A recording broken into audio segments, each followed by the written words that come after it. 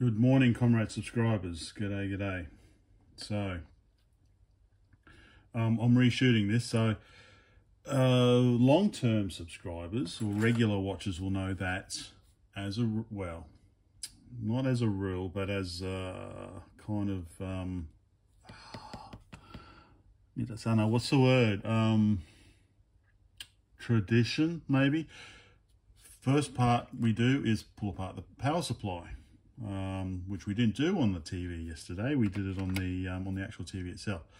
So I pulled it apart last night. Um, blah, blah yeah. So I'm, I'm trying because I've got the um, I've got the GoPro set up above above, and I've got the iPhone here with the uh, traditional view.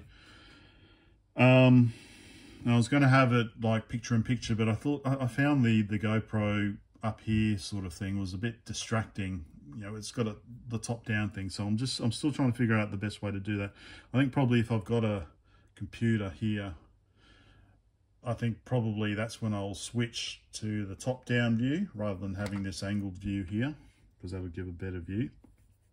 Anyway, so I pulled this apart last night and I thought I'd just redo it because, um, well, there's a lot of, I was going to basically put them together, picture in picture, and then just chop out the bits because you know otherwise it would have been too much work to stop this, stop that, and try and match them up again and restart them. And I thought, oh, whatever, blah blah blah. So I should probably just chop all this out. Anyway, um, oh, so I got I got one dislike so far. It's not a challenge. It's, so I got one dislike on my uh, part one video. Um, come on, guys. So you know the rule or my simple request. If you dislike something, please tell me what it is. Don't just be a coward, dislike it, and then piss off. You know, you don't like it because it's made by communists, or you don't like it because I'm I don't have anything. I have no idea about TVs, or you don't like it because the TV didn't work. Tell me why you didn't like it, um, so that I can improve. You know. Anyway, so I pulled this apart last night and um, as in my first video, I had a thought. So I've already pulled the, I've already desoldered the, the DC output and the AC input because the case uh, is, is a bit broken. So I'm going to wash the case up and uh, re-glue it. And I initially thought, because this basically said battery, uh, well, it's uh, battery accumulator. Oh, no, uh, charge accumulator. So battery charge or charge battery or something. So I thought that this was the battery unit, but of course, silly me, I realized as I was pulling it apart, especially because there's no bloody battery in there, that the way it works, I think, is that, um, see, that has to go over the switch there, is that you've got your, your two, you've got your 220 volts, you've got your 220 volts coming in, and then you've got your uh, 12 volts DC coming out, um, which then plugs into the TV. But you also have an extra 12 volt output here that you can use to charge a battery pack. Um, and then you would plug the battery pack into the TV. It's you, you'd still have all this cable lying around, I guess. So it's a bit kind of weird. But I believe so I'll hold this here so you know a proper look. But I believe um, that's the way it works because I, I was looking at this last night and I could not. So what the hell? So basically, so it's simply just a step down transformer. We've got um, we've got a bridge rectifier here with our four diodes, and we've got a 2000 uh, microfarad smoothing capacitor, which is actually 50 volt rated, so I don't have a replacement for that, I don't think. Um, and then we've got our fuse here. So what I'm going to do is I'm going to replace the two capacitors, not today because I don't have a replacement for this fellow, um, and then put on an Aussie plug.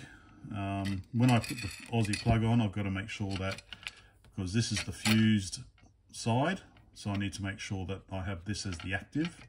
We don't fuse the neutral, we fuse the active. Um, Yep.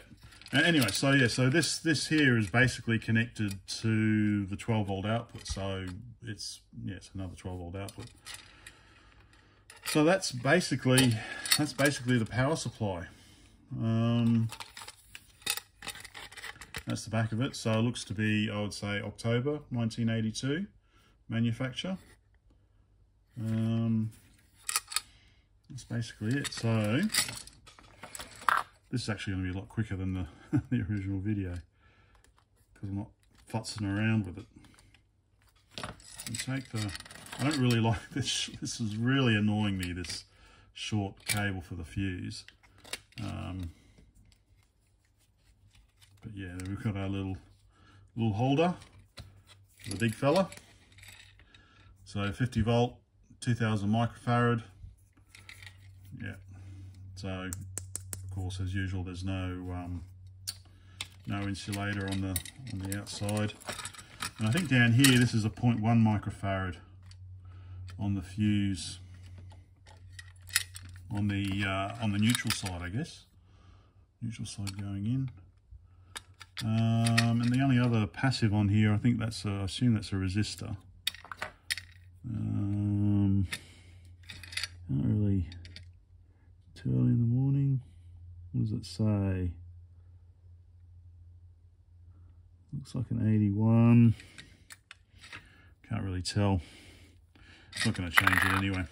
So yeah, that's basically the power supply. 12 volts, 240 volts or 220 volts in, 12 volts out, plus an additional receptacle for charging a battery pack.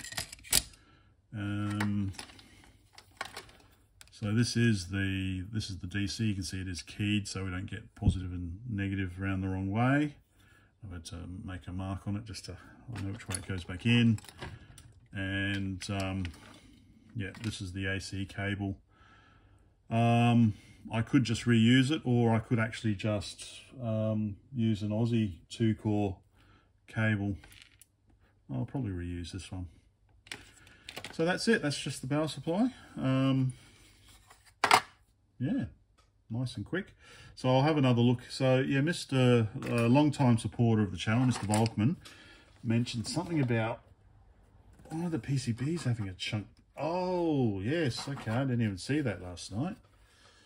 Yeah, interesting. A chunk taken out. Um, okay. Oh, yes. Okay, so, so this is just a quick look. Yeah, so there's the chunk taken out Mr. Waalkman uh, noticed. So we'll have to have a look to see, but does look like maybe does look like the trace is there. What the fuck was that? I wonder what that was. Hmm. Comparing it on the other side, I can see that there was, I think, something here, one of those spring-loaded things to hold it in place there. If we turn it around, we can see that's what we've got on this side here. A Little spring-loaded um, thing anyway. So I'll try, and pull this all, all apart today. But yeah, very, very good pickup there, Mr. Waalkman. Didn't even notice that. So I'll have to have a look. So does look like there is a trace. Does look like there was a trace. Let me just get my poker without a washer on it. It does look like there was a trace going yeah. So there's definitely some some continuity missing there. I'm assuming this is just a ground rail on the outside, so um, hopefully it's grounded here. And But yeah, what are we missing there? Um, oops, something else fell out. Um, that looks like an LED.